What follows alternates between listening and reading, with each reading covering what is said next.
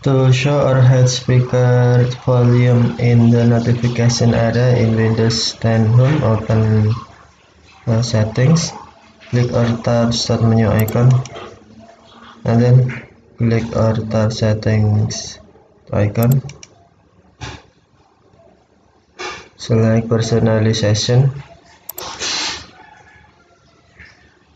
select Taskbar scroll down. And then tap or click select which icons appear on the taskbar. And then to show volume in notification area tap switch until on or until blue. Or to hide tap switch until white volume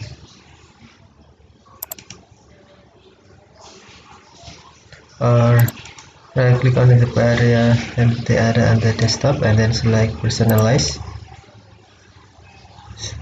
Select taskbar scroll down and click or tap select which icons appear on the taskbar and then touch volume switch until on to show. And tap switch until what to hide. Other method you can right click in empty area on the taskbar and then select taskbar settings.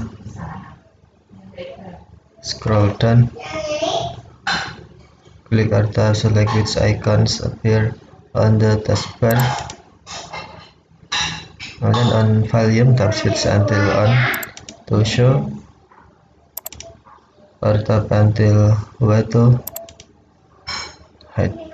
Okay thank you for watching. Have a nice day